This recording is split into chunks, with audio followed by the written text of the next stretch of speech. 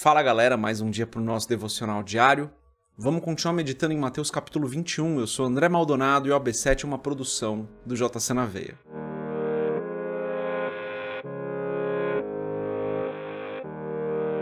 Mateus capítulo 21 e hoje a gente vai ler só o versículo 14. Está escrito assim: Os cegos e os mancos aproximaram-se dele no templo e ele os curou. Só até aqui, só até o verso 14 hoje Vamos fechar os nossos olhos, curvar nossa cabeça e fazer uma oração. Senhor, tu és bom e santo, tu és o nosso Deus justo e verdadeiro. Não há outro que seja como o Senhor, tu és forte, poderoso, maravilhoso, grande. Tu és o nosso Deus único, nosso Deus santo, nosso Deus fiel. Tu és perfeito, Senhor. Nós somos falhos, nós erramos, mas o Senhor é perfeito. E por sermos falhos, eu peço, perdoa-nos, Senhor. Perdoa-nos da mesma forma que nós temos perdoado as pessoas. Tem misericórdia de nós. Porque, como eu disse, nós erramos, às vezes nós caímos em tentação, às vezes não fazemos aquilo que é o correto, aquilo que deveríamos fazer. Tem misericórdia de nós, Pai. Em nome de Jesus, eu te agradeço por mais esse dia, te agradeço porque para muitos de nós aqui a semana está começando, te agradeço porque o Senhor tem nos protegido, nos guardado, o Senhor tem nos abençoado. Te agradeço porque o Senhor tem nos dado disposição para trabalharmos. O Senhor tem feito tudo por nós. Em nome de Jesus, eu peço que o Senhor nos abençoe hoje, nos guardando e nos livrando de todo mal. Não deixa, Pai, que nós caímos em tentação, que o mal não nos alcance, mas que nós estejamos guardados em Ti, protegidos no Senhor. Guarda-nos e guarda também as nossas famílias, Pai. O Senhor é a nossa proteção, o Senhor é o nosso escudo, o Senhor é aquele que nos protege, nos livra do mal. Por isso eu peço, continua nos protegendo, Senhor. E eu peço também em nome de Jesus que a tua provisão esteja sobre as nossas vidas, de maneira que nada falte para nenhum de nós aqui. Pelo contrário, Senhor, se essa for a sua vontade, que sobre para que nós possamos abençoar outras pessoas. Ensina-nos a administrar tudo aquilo que o Senhor tem colocado nas nossas mãos, de maneira que tudo seja para a tua honra e glória.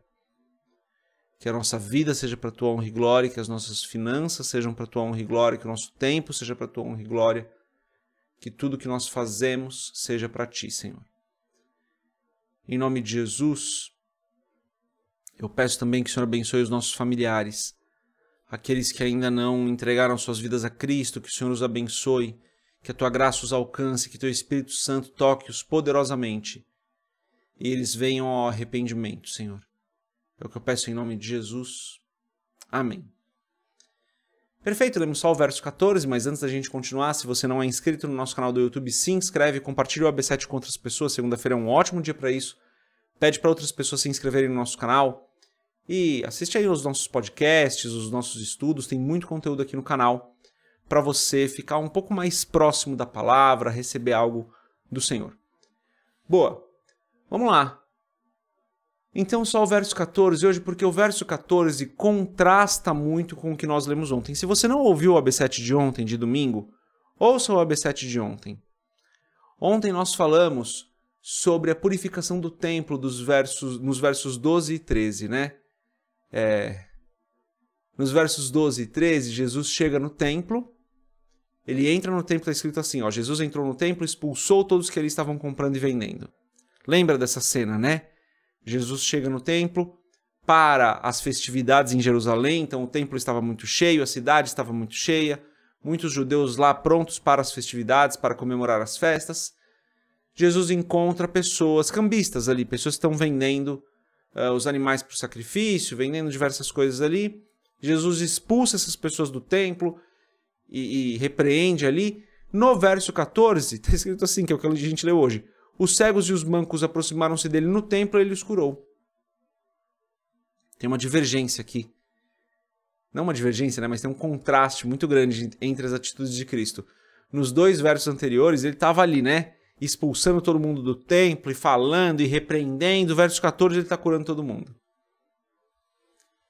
Quando nós nos reunimos, pessoal, para celebrar a Cristo, para cultuar a Deus, que era o que o povo estava fazendo ali naquele momento?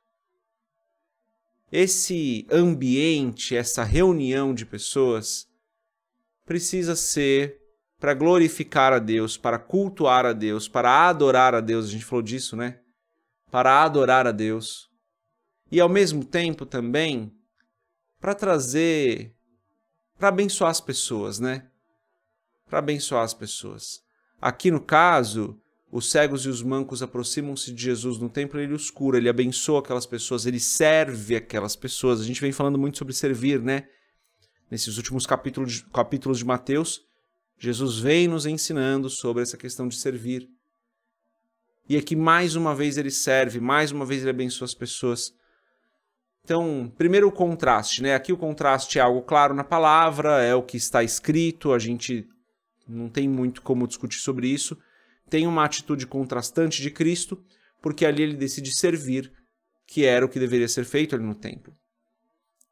Tirando um pouco ali daquele ambiente, trazendo para o nosso ambiente, quando nós nos reunimos como igreja, quando nós nos reunimos como comunidade de fé, quando nós nos reunimos como irmãos em Cristo em um lugar para adorar a Deus, para cultuar a Deus, seja onde for, e aqui eu estou falando muito menos do templo e muito mais da reunião, quando nós nos reunimos para adorar a Deus, esse ambiente deve ser um ambiente de serviço às pessoas, de serviço à comunidade, de amor às pessoas, de cura, de libertação.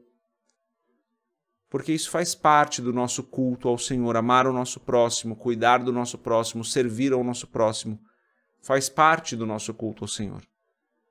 Então, o povo ali estava reunido para as festas, Jesus expulsa aqueles que estavam vendendo, mas cura aqueles que precisavam.